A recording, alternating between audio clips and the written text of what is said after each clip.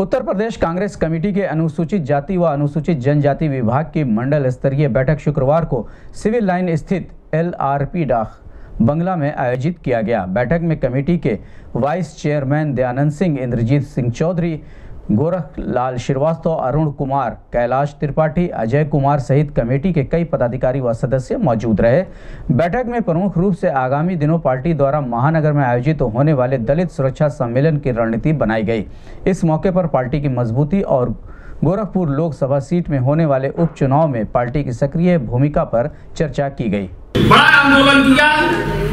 अब उस में से अटल बिहारी वाजपेयी की पार्लियामेंट को तीन दिन तक अकेले बूटा सिंह ने नहीं चलने दिया था। अगर आप लोगों को किसी का ध्यान होगा कास्ट के लोग प्रमोशन में रिजर्वेशन पाए थे और प्रमोट हुए थे वो बैठ हुए। उसी अभी आप लोग इसमें से बहुत सारे लोग नौकरी पैसे वाले हमको जानते होंगे। जानते होंगे आप लोग? तो आज आवश्यकता क्या है?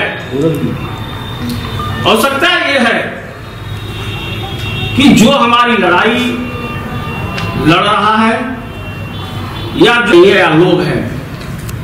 तो नेशनल लेवल पर जो पार्टी हमारी है, वो भाजपा का मुकाबला करेगी, भाजपा को सरकार से बाहर करेगी।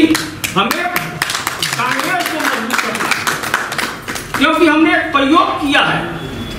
हम लोग प्रयोग करके कांग्रेस को छोड़े हैं। हमारे लोग जो हम हमारे सपा हो चाहे बसपा हो, ये अपने बैकवर्ड क्लास को अपने दलित क्लास के लोगों को उनको बना रहे हैं। हमने कहा कि उनके बरगलाने को हमने कभी बसपा को देखा, उनको उनके बरगलाने को हमने सपा बसपा के गठबंधन को देखा।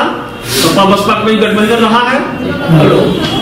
ये हम देखा है, हमने देखा अब देखते देखते हम कहा जा उत्तर प्रदेश कांग्रेस कमेटी अनुसूचित जाति विभाग के राष्ट्रीय अध्यक्ष माननीय के राजू के निर्देश पर प्रदेश अध्यक्ष माननीय भगवती प्रसाद चौधरी के नेतृत्व में पूरे प्रदेश में, प्रत्येक मंडल में दलित सुरक्षा सम्मेलन आयोजित किया जाना। है और यह समीक्षा बैठक है।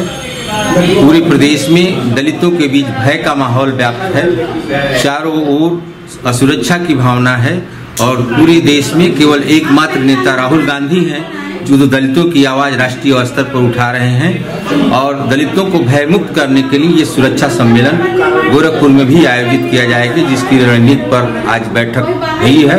और जो निष्क्रिय पदाधिकारी हैं, उन्हें पंद्रह दिन के अंदर हटा करके बूथ लेवल पर दलित कार्यकर्ताओं की नियुक्ति करने का उद्देश्य से यह मीटिंग बैठी